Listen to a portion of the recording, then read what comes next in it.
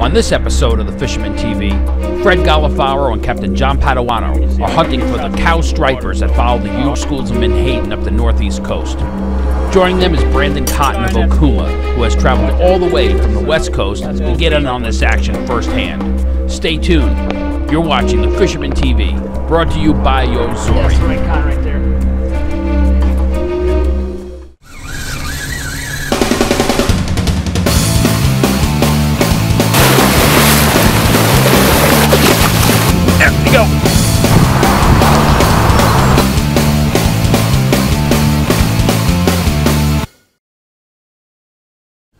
June offers a good opportunity for anyone who really wants to catch a trophy striper, anywhere from Jersey all the way up to uh, Massachusetts.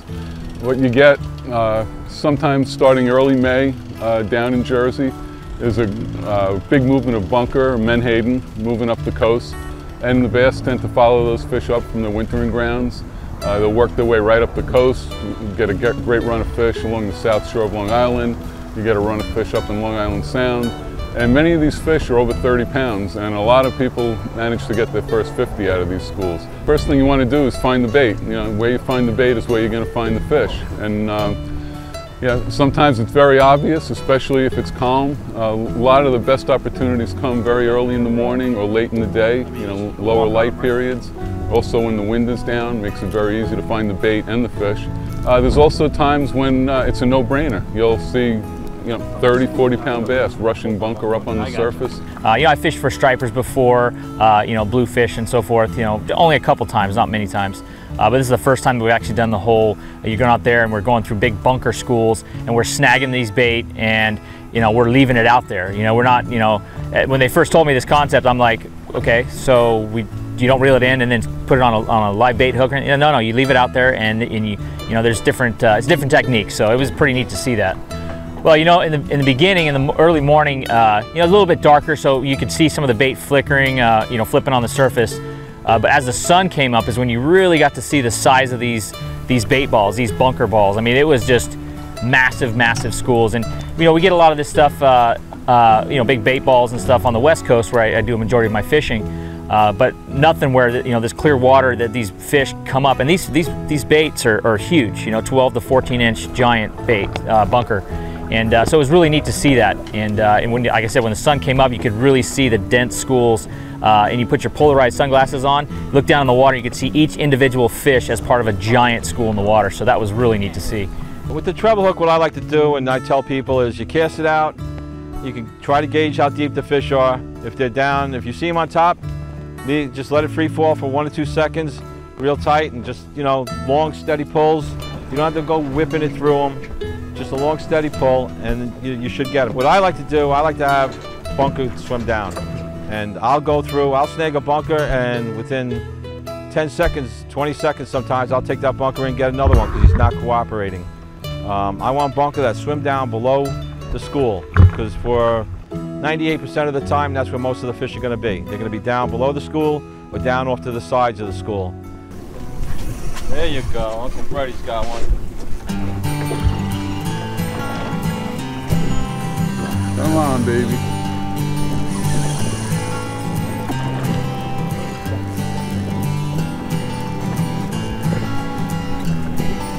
Bang that good. Coming up, Uncle Freddie. I don't know. Uh, yeah.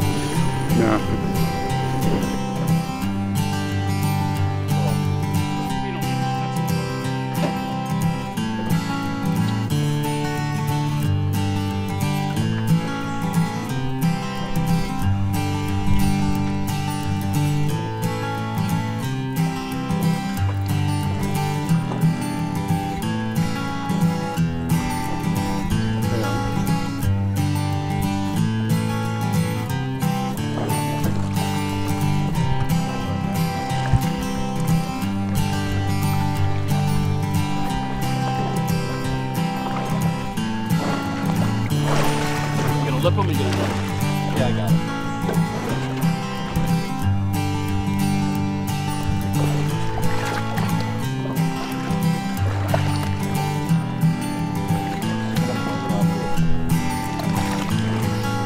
Fishing, go back.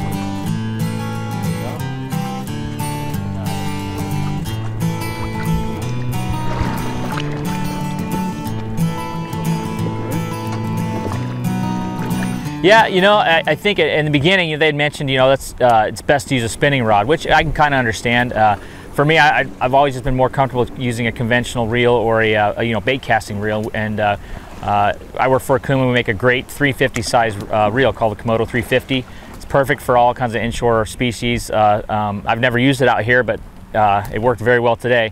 Uh, so I, that's what I used to cast, and uh, you know it took a little bit just to kind of get the the, the uh, technique right as far as the snagging and, and kind of winding and, and, and doing that kind of thing.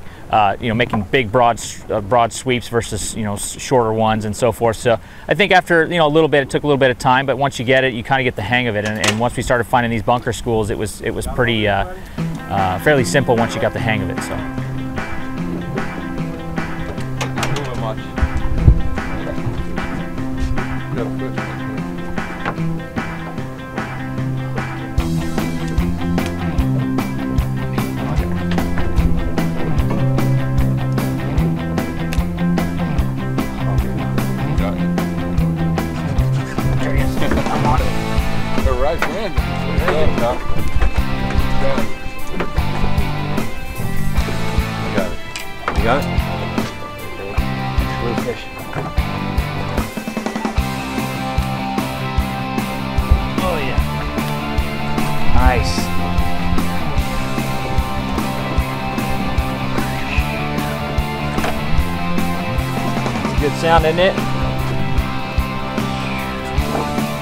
Oh.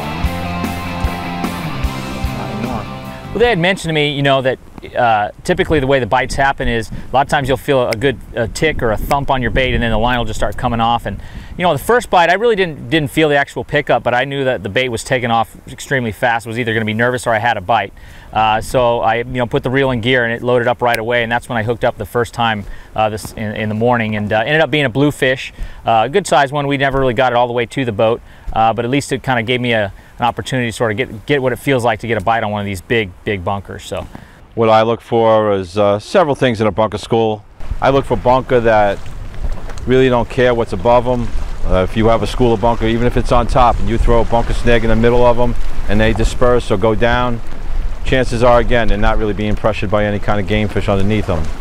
Bunker that just look like they're hurried and in a frenzy, doing a whirlpool, rushing, any of the, you know, the classic signs, of course, that's what we're looking for.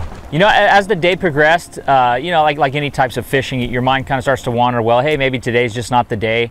Uh, we were seeing tons and tons of bait. I mean, we were just going, more the day wore on, the more bait balls we saw, and it just seemed like the bigger, more dense they got.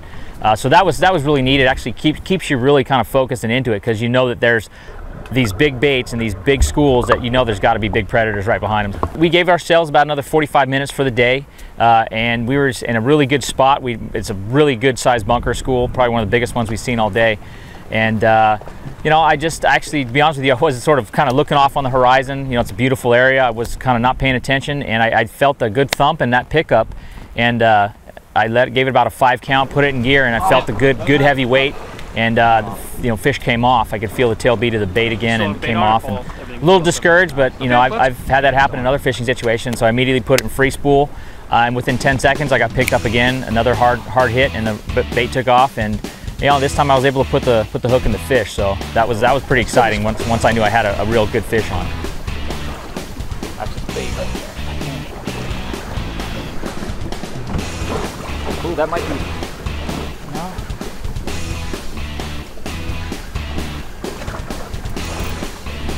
The right kind. That's the right kind right there. Yep. You got there? Yes, sir. There you go. Feeling like the right kind now. Yeah. Yeah, you know, to be honest, when, when I first had set that hook uh, and wound down to the fish, you know, it, it, you've heard it before when people catch some larger fish, it kind of feels like the bottom. And, you know, our, our bait, we are you know, not too deep of water there, and uh, it kind of crossed my mind, like, well, maybe he ran down into something and got snagged. I don't, I don't know. Uh, but then I started, the, then the line started peeling off. I knew right away it was it was uh, the right uh, kind. Just, just uh, I didn't know how big, obviously, but uh, as the fight wore on, you know, it got a little windy. So the boat's kind of moving away and the fish is starting to come up as I'm, you know, tiring it out and, and fighting the fish. So uh, you know, once once I kind of got a good look at it, kind of far off, I, I kind of knew it was pretty good size. I didn't know how big at the time, but uh, I knew it was a pretty good fish. So. I think you got a good fish on there. Nice fish. Yeah. Yeah. As I'm fighting this fish, I'm getting it closer to the boat. Uh, you know, I started getting kind of quiet, you know, and that's just, I think, because for me, it's starting to realize, hey, this is, could be my biggest striped bass uh, that I've ever caught. You know, I've caught some freshwater ones, 20, 25 pounds, uh, but I've never caught um, any really large saltwater ones uh, before. So this was, uh, you know, for me, I think I was more nervous. I didn't want to really lose the fish. I'd kind of fought it for about, you know, getting it all the way up through the through the kind of the windy weather and uh, and so forth for the last last few minutes. I really didn't want to lose the fish, so I got a little quiet there. But once I got it up and we got the net on it, I, uh, I was pretty stoked, pretty happy to say the least. So I, we knew it was a big fish, and when I hefted it over the rail there, uh, it was pretty amazing at the size. So Just leave pretty his neat head in when experience. comes up. Lead his head over. Okay. There you go. Come on, bring him in. You got it. Wait. Gotta him in. Another one Back behind up, him? No. Back up, back up, back up, back up. Yeah! Thank you, sir. All right. I'll hold the rod, you pull him in. I'll go. You do the work. You pull him. Alrighty. How heavy is it? Oh yeah. Woo! Nice There you go. Yeah. Good job, bud. It's 40. Come on, get him up there, let's see Nice him. fish. Beautiful. Oh, nice fish. Very nice. Very nice That's your fish. biggest striper ever. Oh, for sure. Beautiful. Yeah, the sea long lights on him. A lot of sea lice just came in. Look at That's that. awesome. Look at the tail. Oh, man. Nice. Nice Thank you, guys. You're welcome. Man, that was awesome. What a fight. Look at the tail on that thing. You can see I like to use small trebles. I like, you know, to be unobtrusive, but, uh, so the, the game fish do not notice it. And, you know, when the bass are like on a feeding frenzy, they're going to eat it. But like days like today when they're picky and you're getting, you know, you're getting like hits and they're not very aggressive, lightening up and using smaller is always going to do it and you're going to hook them. You know, I like to use the snags today, had the bronze hooks. So if you do hook a fish deep or you break one off, that hook will rust out soon. I, I do not like to use stainless steel hooks. You know, I go for my braid with a double uni. Uh, double uni you could tie in about 30 seconds. And I have yet to find a stronger knot in my opinion and easier to tie. So that's what I use. It seems to be very dependable. And I always like to use a shot of fluorocarbon. And I know it's a little bit more expensive, but you know, for a few cents and my peace of mind, it builds my confidence. I'll use the fluorocarbon. And then, you know, to hook the treble hook on, I don't like to use snaps or any of that stuff. I tie direct and either Palomar knot or an improved clinch knot. And I never seem to have a problem with stuff breaking. Although probably 95% of the fish are caught on bunker or bunker chunks when the fish are on these bunker schools, there are opportunities to catch them on topwater plugs, on surface plugs, especially if the fish are in tight to the beach, shallow water, when you see the fish rushing the bunker up to the surface. Uh, we've caught a number of fish on, uh, on surface plugs. Uh, there are also times when the fish can be very fussy. You know, even when they're even when they're rushing fish like that. I mean, you could have fish all around the boat, but they're tough to get to eat. Uh, consider dropping down a light a leader. We always use fluorocarbon for this fishing. Theoretically, it is invisible, and that's what you want.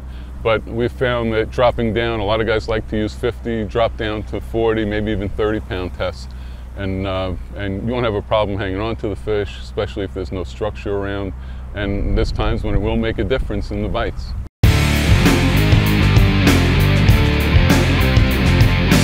Well, I, it's it's really neat to me. I, I actually enjoy fishing with people for the first time, or, or people that I don't get to fish with that often. I've actually had fished one other time with Fred, but I've never met uh, Captain John. And uh, they're really neat, knowledgeable guys, and I really enjoy going somewhere where I don't really necessarily know, you know, what I'm doing in this environment. I, I fish quite a bit, but you know, it's not something I do every day. So it's neat to kind of see their their process and how they do things, and they've done it for many many years. And uh, they're just a couple of great guys, and, and they're very knowledgeable. And I think that's great when you you start learning stuff. And by the end of the day, just just from going with somebody like that, it just makes you a better angler overall, in my opinion. You know, the snag and drop technique is probably the most effective. Unfortunately, uh, it does lead to a lot of fish that are difficult to release. You know, they get that treble. and Some guys are using real big trebles on the, on the weighted snag hooks, and uh, it can damage the fish's mouth or they swallow it down.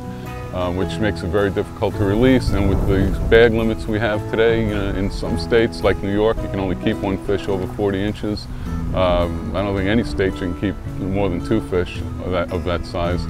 So, uh, you know, something to consider. As effective as snag and drop is, is uh, when you can get the fish back to the boat, the bait back to the boat, uh, take it off the snag, put it on another rod with a circle hook, a big circle hook, 9-0 preferably, and, uh, and let the bunker swim that way. Again, if you want to get it down, you, you got to think about putting some weight on your line. You can use a fish finder rig. Um, there's also times, and sometimes some of the biggest fish are caught on uh, just chunks or the head of a bunker, and you want to get that down to the bottom.